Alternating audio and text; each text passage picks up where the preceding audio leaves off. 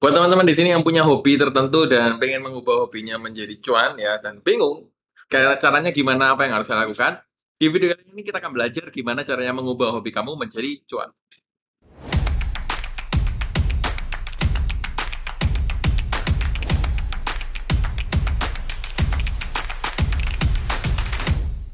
Hai, kembali lagi bersama saya Show Andreas dari Social Media Marketer.id, tempat untuk memudahkan kamu belajar seputar pemasaran di media sosial.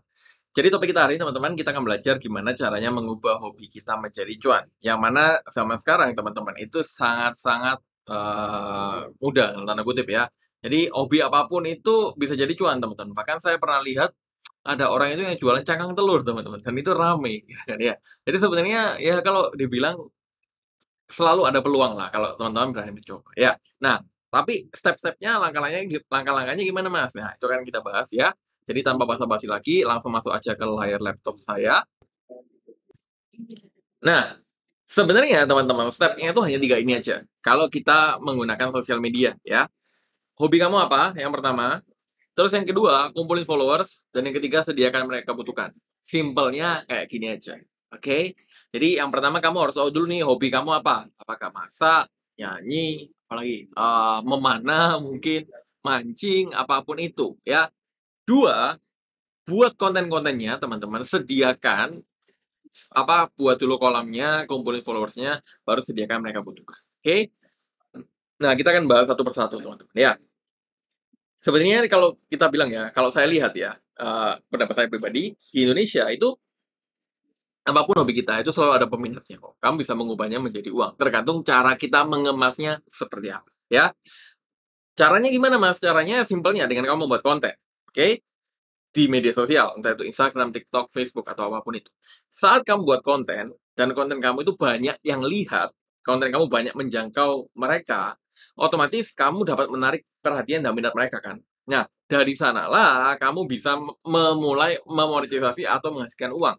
Contohnya seperti ini, kamu hobi masak nih, ya udah, kamu bisa membuat konten tentang masak, misalkan apa contohnya kayak uh, tips memasak dadar jagung yang lebih lezat dan gurih, misalkan ya.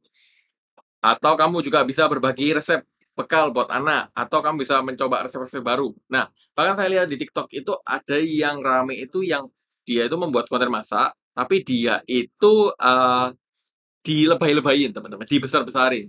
Jadi harusnya yang uh, mecah telur itu gampang, tapi sama dia itu dibuat yang lebih susah. Nah, itu rame di TikTok ya.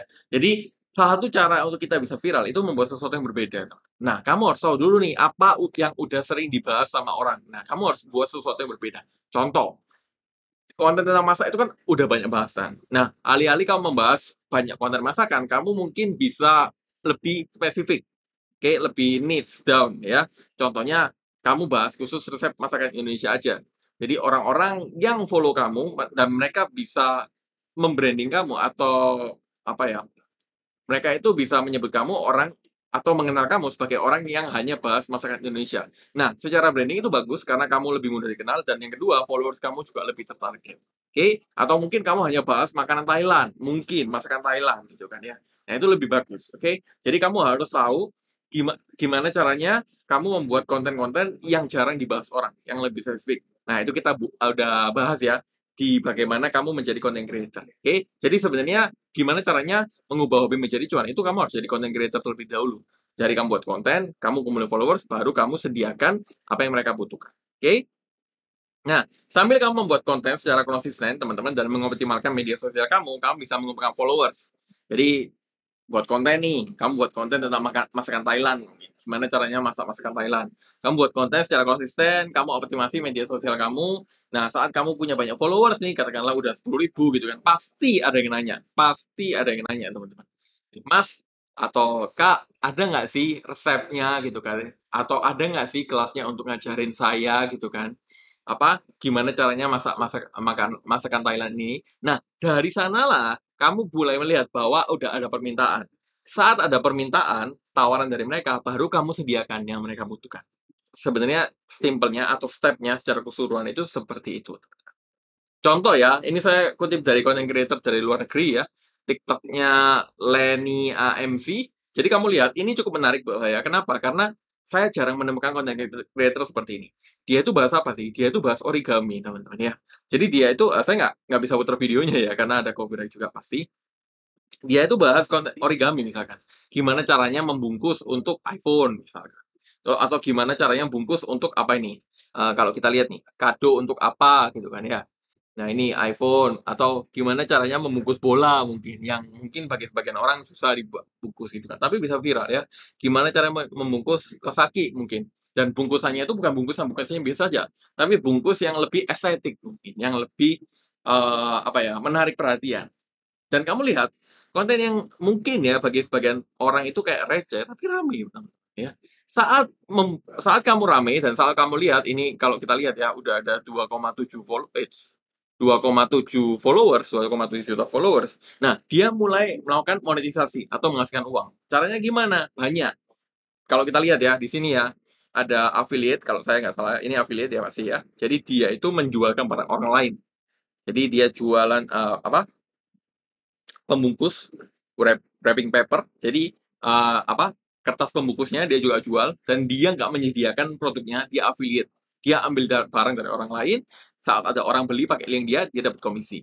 Yang kedua bisa endorse, ya jelas ya, kalau kita punya followers banyak, pasti ada beberapa brand yang punya target market sama kayak kita, menawarkan kita untuk kerjasama. Dua, uh, tiga ya, bisa menawarkan jasa melipat mungkin. Jadi ada orang mungkin yang pengen punya kado yang estetik buat pasangan atau buat keluarga, dia tanya, bisa nggak sih lipetin saya untuk produk ini? Oke, okay? bisa juga banyak ya, ada apa pun itu ya kalau kita lihat. Tapi kalau saya lihat sekilas sih banyak kan affiliate. Oke, okay? nah saat kamu uh, membuat konten teman-teman seperti ini, nanti kamu bisa mulai menyediakan apa yang mereka butuhkan. Tapi stepnya yang pertama adalah kamu harus tahu dulu hobi kamu apa. Dan yang kedua, kamu harus membuat konten secara konsisten, teman-teman. Belajar uh, copywriting, mungkin gimana caranya membuat konten yang lebih menarik perhatian, gimana caranya membuat sosial media kita mengoptimasinya agar mendapatkan banyak followers, dan lain sebagainya. Nah, sekarang pertanyaannya adalah hobi kamu apa nih? Apa yang kamu ingin uh, buat konten. Hobi kamu apa? Kamu harus tahu dulu.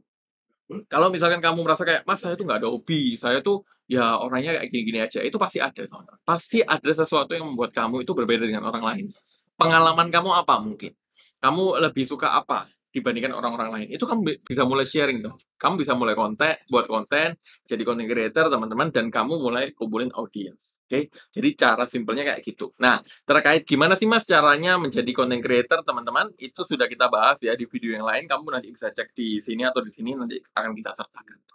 Ya, jadi stepnya seperti itu. Saya ulangi lagi. Pertama, tentuin hobimu apa. Yang kedua, mulai aktif di media sosial buat konten, kumpulin followers. Dan yang ketiga, sediakan yang mereka butuhkan. Ini tiga step yang paling simpel yang bisa kamu lakukan untuk mengubah hobi kamu menjadi cuan atau ladang uang. Ya. Dan kurang lebih teman-teman itu aja di video kali ini. Semoga bermanfaat, semoga membantu. Pastikan juga kamu subscribe channel ini dan aktifkan loncengnya jika kamu suka suka suka dengan konten-konten di channel ini. Dan kalau misalkan kamu ingin belajar lebih seputar sosial media marketing, kita juga ada ada kelas TikTok marketing, WA marketing, TikTok uh, TikTok marketing, WA marketing, storytelling, content creator sama optimasi Instagram hashtag yang bisa kamu akses secara gratis. Caranya gimana? Silahkan klik link yang ada di bawah ini. Itu aja teman-teman dari saya. Sampai jumpa di video-video yang lain.